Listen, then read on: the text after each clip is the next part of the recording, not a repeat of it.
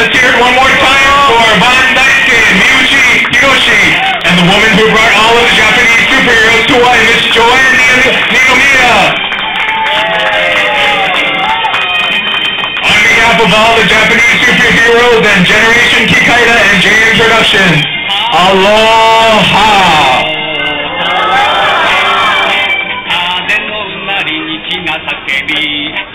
風の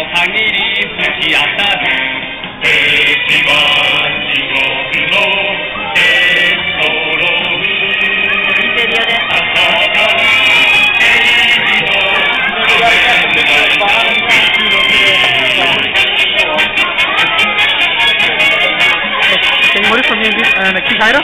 Yeah. For it, for the recording.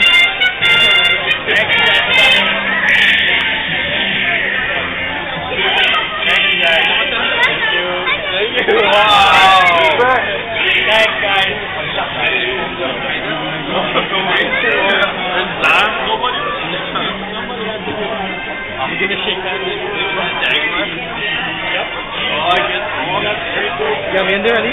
Yeah. saw him go around here.